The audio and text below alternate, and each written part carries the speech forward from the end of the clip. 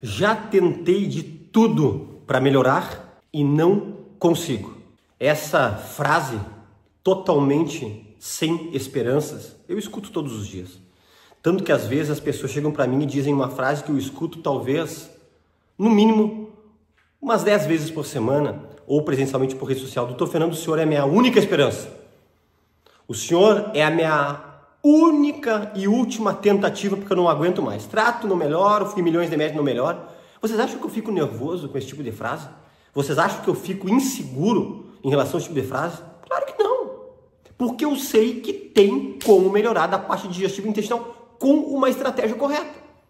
Todas as pessoas que chegaram dizendo isso e seguiram a orientação do nosso protocolo Lemos, que são estratégias muito bem pensadas ao longo de mais de 22 anos sobre o que tomar de lubrificante, o que tomar de algum tipo de medicamento ou chá para a parte do estômago e para a parte de gases, qual orientação em relação ao café da manhã, qual orientação de mistura de sucos naturais que são bons para a parte digestiva, qual o probiótico você deve utilizar, qual o tipo de atividade física é mais recomendado para você, como se mastiga, se pode tomar líquido ou comer ao mesmo tempo, como faz para se desverminar da maneira correta. São estratégias que nós criamos.